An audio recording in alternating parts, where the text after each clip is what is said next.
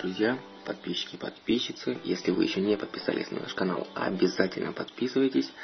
Сегодня у нас обзор на барбуса. Не обычного барбуса, а барбус альбинос, которого вы сейчас видите на своем экране. И немножко хотелось бы о них рассказать, чем же он отличается от других барбусов. Да, на самом деле, практически ничем, кроме своей необычной окраски. Основное отличие от барбуса суматранского, а прародителем этого барбуса является именно барбус суматранский, является то, что жаберные крышки у них зачастую отсутствуют, и, как видите, сам пигмент, цвет совсем-совсем другой, то есть намного-намного ярче.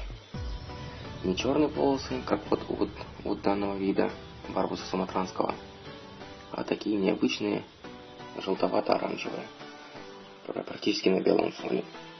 Во всем остальном барбус такой же идентичный абсолютно барбусу суматранскому и в кормлении, и в условиях обитания. Также должна быть температура воды 26 градусов примерно.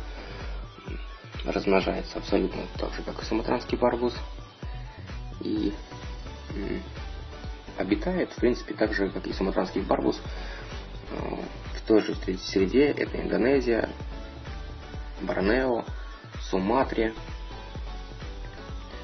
ну и зачастую еще сейчас встречается в Таиланде. Посмотрите на эту необыкновенную рыбку, найти ее сейчас на рынке достаточно не всегда получается, не во всех магазинах она есть.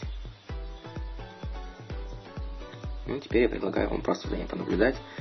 Если вы еще не подписаны на наш канал, обязательно подписывайтесь и, и ну, ставьте лайки, если, конечно, вам не жалко. Всего вам доброго.